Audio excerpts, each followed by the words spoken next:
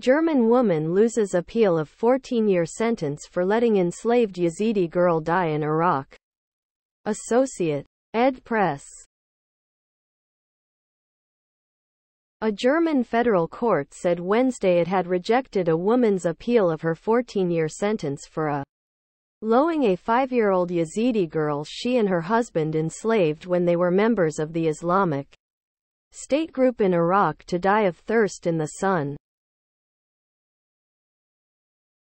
The defendant, a German convert to Islam, was convicted in October 2021 of, among other things, two counts of crimes against humanity through enslavement, one case resulting in death, and membership in a terrorist organization abroad. A new sentence. Below are your comments.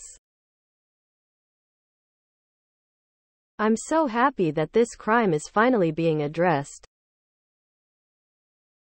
So many young girls have already lost their lives to this.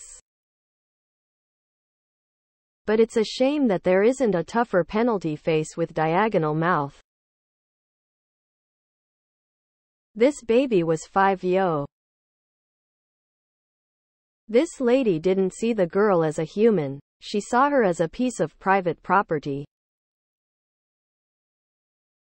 Probably gave her death no more thought than throwing out a broken coffee machine. Once you completely lose your humanity like that, not sure you can come back. 14 years is about a lifetime too short.